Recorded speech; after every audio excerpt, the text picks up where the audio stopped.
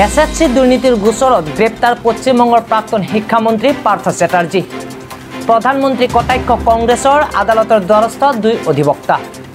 অহা মাহত উজবেকিস্তানত ভাৰত আৰু পাকিস্তানৰ প্ৰধানমন্ত্ৰীৰ বৈঠক। ভাৰতীয় সেনা বাহিনীত উদ্বেগজনকভাৱে বৃদ্ধি পাইছে আত্মহত্যাৰ ঘটনা। অসমৰ সন্ধানহীন ঊনৈছ শ্ৰমিকৰ চাৰিজনক অৰুণাচলত উদ্ধাৰ। চাকৰিৰ পৰা বৰ্খাস্ত কৰা হ'ব এ এফ ডি চিৰ দুইশ সোতৰগৰাকী কৰ্মীক জব্দ কৰা গাঞ্জা বিক্ৰী সাত আৰক্ষীক ৰিজাৰ্ভ ক্ল'জ। সুস্থ জুবিন গাৰ্গ হাস্পাতালৰ পৰা যাব দিয়া হ'ল ঘৰলৈ। আঠষষ্ঠি সংখ্যক ৰাষ্ট্ৰীয় চলচ্চিত্ৰ বঁটা ঘোষণা শ্ৰেষ্ঠ অসমীয়া চিনেমা ব্ৰিজ। আৰু আমেৰিকাত ইতিহাস ৰচিলে ভাৰতীয় খেলুৱৈ এলডছ পলে।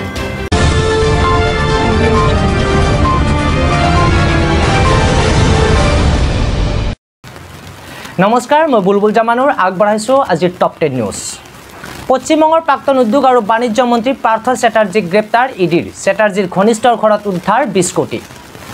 পশ্চিমবংগৰ প্ৰাক্তন শিক্ষামন্ত্ৰী তথা বৰ্তমানৰ উদ্যোগ আৰু বাণিজ্য মন্ত্ৰী পাৰ্থ চেটাৰ্জীক গ্ৰেপ্তাৰ কৰিলে ইডিয়ে।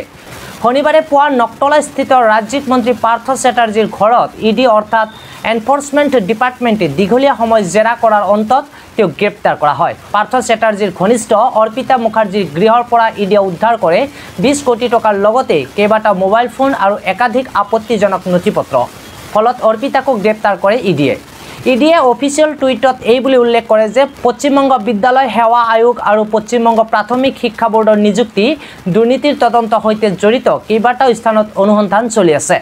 উল্লেখ্য ইডিয়ে ইতিমধ্যে পাৰ্থ চেটাৰ্জীৰ সহায়ক সুকান্ত আচাৰ্যকো আটক কৰিছে। পশ্চিমবংগত ইডিৰ এই অভিযানে ব্যাপক চৰ্চা লাভ কৰিছে। প্ৰধানমন্ত্ৰীক কটাক্ষ কংগ্ৰেছৰ আদালতৰ দ্বাৰস্থ দুই অধিবক্তা। প্ৰধানমন্ত্ৰী নৰেন্দ্ৰ মোদীক আক্ৰমণ কংগ্ৰেছৰ। শুকুৰবাৰে ভাৰতৰ প্ৰথম প্ৰধানমন্ত্ৰী জৱাহৰলাল নেহৰু আৰু তিৰংগাক লৈ এক তথ্য শ্বেয়াৰ কৰিছিল প্ৰধানমন্ত্ৰী নৰেন্দ্ৰ মোদীয়ে।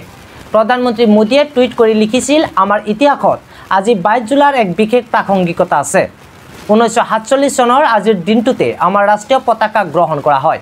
আজি আমি অতি পুনৰবাৰ দোহাৰিছোঁ। প্ৰধানমন্ত্ৰী মোদীয়ে লগতে তেৰৰ পৰা পোন্ধৰ আগষ্টৰ ভিতৰত ভাৰতৰ জনসাধাৰণক ঘৰত ত্ৰিৰংগা উত্তোলন বা প্ৰদৰ্শন কৰিবলৈ আহ্বান জনায়। তাৰ পিছতেই কংগ্ৰেছ নেতা জয়ৰাম ৰমেশে শুকুৰবাৰে প্ৰধানমন্ত্ৰী নৰেন্দ্ৰ মোদীক সমালোচনা কৰি জৱাহৰলাল নেহৰু আৰু ত্ৰিৰংগা স্থাপনা কৰাটো হাস্যকৰ। ইপিনে দুজন অধিবক্তাই নতুন সংসদ ভৱনৰ ওপৰত থকা ৰাষ্ট্ৰীয় প্ৰতীক নিৰ্মাণ কৰা কলাকুশলীৰ বিৰুদ্ধে উচ্চতম ন্যায়ালয়ত আবেদন জনাইছে যে ইয়াৰ নক্সাই ভাৰতৰ ৰাজ্যিক প্ৰতীক আইন আলু উলংঘা কৰিছে। অধিবক্তা আল দানিছ ৰেইন আৰু ৰমেশ কুমাৰ মিশ্ৰৰ দ্বাৰা কৰা আবেদনত ৰাষ্ট্ৰীয় প্ৰতীক বিকৃত কৰাৰ অভিযোগ উত্থাপন কৰিছে আৰু ইয়াৰ তাৎক্ষণিক পৰিৱৰ্তন বিচাৰিছে। অসমৰ সন্ধানহীন ঊনৈছ শ্ৰমিকৰ চাৰিজনক অৰুণাচলৰ ডামিন চক্ৰত উদ্ধাৰ বায়ু সেনাৰ দলেও চলাব অনুসন্ধান। অৰুণাচল প্ৰদেশৰ ডামিন চক্ৰত সন্ধানহীন সীমান্ত পথ সংস্থাৰ ঊনৈছজন শ্ৰমিকৰ ভিতৰত চাৰিজন শ্ৰমিকৰ সন্ধান পোৱা গৈছে। কুৰুং কুমেই জিলাৰ পৰা পাঁচ জুলাইৰ পৰা সন্ধানহীন হৈ আছিল শ্ৰমিককেইজন। এক গোপন সূত্ৰই জনোৱা মতে শ্ৰমিককেইজনক যথেষ্ট ভাগৰুৱা অৱস্থাত উদ্ধাৰ কৰা হৈছে। সূত্ৰটোৱে জনোৱা মতে নিখোজ হোৱাৰ পিছতে শ্ৰমিকৰ দলটো দুটা ভাগত বিভক্ত হৈ পৰিছিল। তাৰে এটা গ্ৰুপত থকা আঠজন শ্ৰমিকৰ ভিতৰত আজি চাৰিজন শ্ৰমিক বিয়াৰ শিবিৰত উপস্থিত হয়। গোটটোৰ আন চাৰিজন শ্ৰমিক অঞ্চলটোৰ ডাঠ হাবিৰ মাজত থকা বুলি সন্দেহ কৰা হৈছে।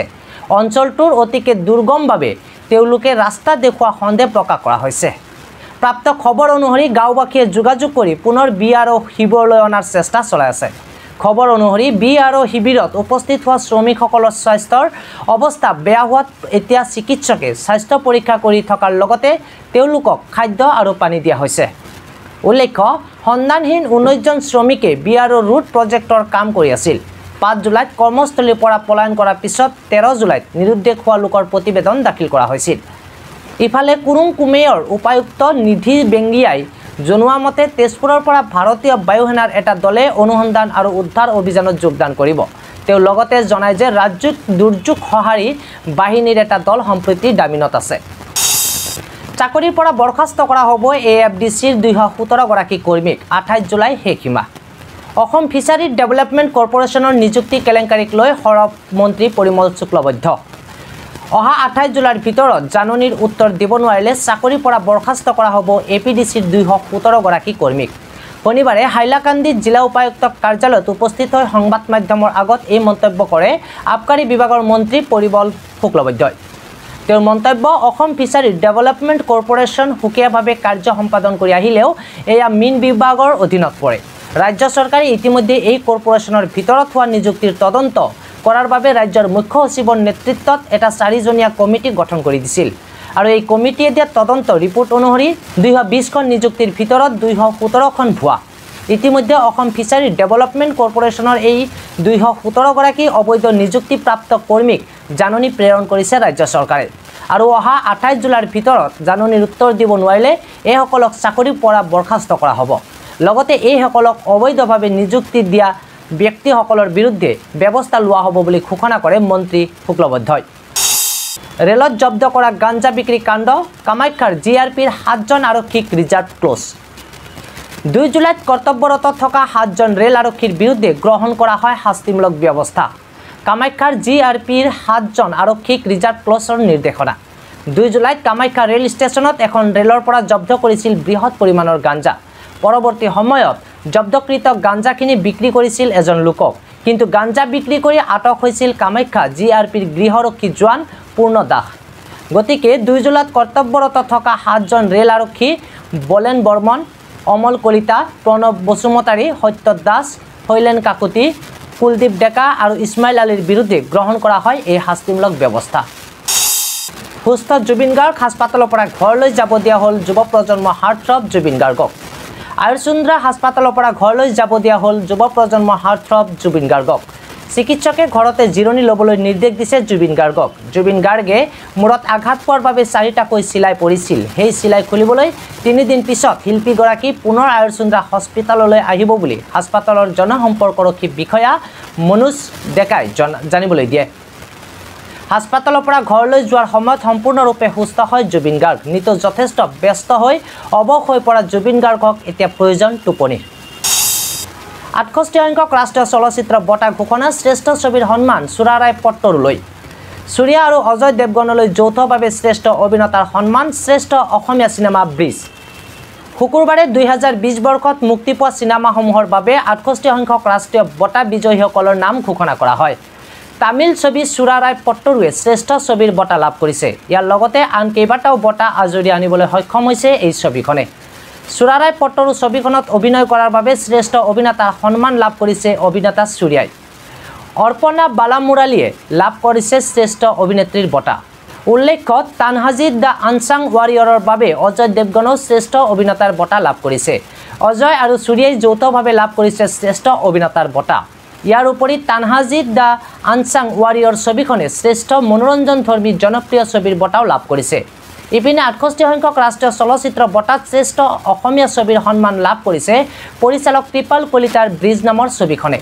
কৃপাল কলিতাৰ ব্ৰিজত নৈৰ ওপৰেৰে এখন দলঙক কেন্দ্ৰ কৰি ক্ষতি হতাশা আৰু শোকৰ কাহিনী বৰ্ণনা কৰা হৈছে। বানপানীৰ মাজত এগৰাকী দৃঢ় প্ৰতিজ্ঞ ছোৱালীৰ বেদনা আৰু কষ্টৰ কাহিনী প্ৰতিফলিত হৈছে ব্ৰিজত। এই ছবিখনে ইয়াৰ পূৰ্বেও আন কেইবাটাও সন্মান বুটল বুটলিবলৈ সক্ষম হৈছে। আনহাতে আঠষষ্ঠি সংখ্যক ৰাষ্ট্ৰীয় চলচ্চিত্ৰ বঁটাত বিশেষভাৱে সন্মানিত হৈছে অভিনেত্ৰী আইমী বৰুৱা। ডিমাচা ভাষাৰ ছবি চেমখৰত কৰা অনবদ্য অভিনয়ৰ বাবে জুৰীৰ বিশেষ উল্লেখ সন্মান প্ৰদান কৰিছে আইমীলৈ।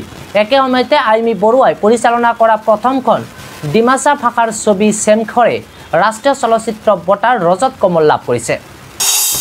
আমেৰিকাত চলি থকা বিশ্ব এথলেটিক চেম্পিয়নশ্বিপত ভাৰতীয় খেলুৱৈ এল্ডছ পলে ৰচিলে ইতিহাস। বিশ্বৰ ক্ৰীড়াংগনত পুনৰ উজ্বলি উঠিছে ভাৰতীয় খেলুৱৈ।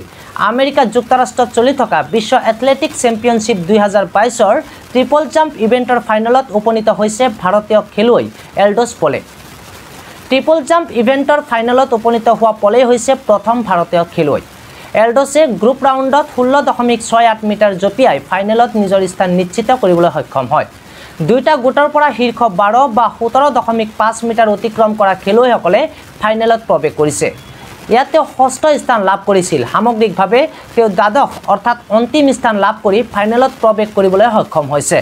দেওবাৰে অনুষ্ঠিত হ'বলগীয়া ট্ৰিপল জাম্প ইভেণ্টৰ ফাইনেলত এল্ডছে ভাৰতৰ নাম উজ্বলাই তুলিবলৈ সক্ষম হ'ব বুলি সকলোৱে আশা প্ৰকাশ কৰিছে। এয়া আছিল আজিৰ দিনটোৰ দহটামান গুৰুত্বপূৰ্ণ সংবাদ। সংবাদ প্ৰহৰীৰ সৈতে সংযুক্ত থকাৰ বাবে ধন্যবাদ।